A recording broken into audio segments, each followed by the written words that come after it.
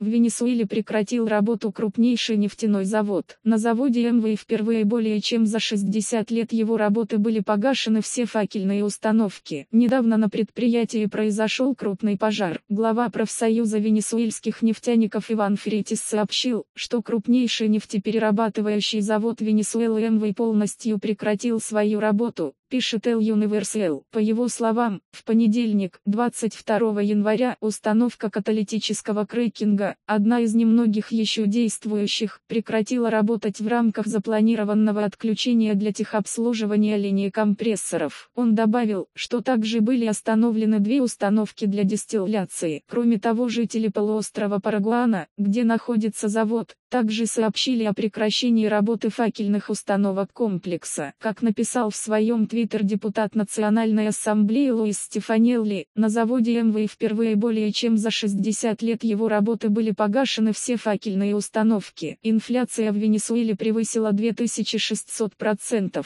Ранее сообщалось, что в Венесуэле 80% нефтеперерабатывающих заводов прекратили работу. По материалам сайта Newsgro.com.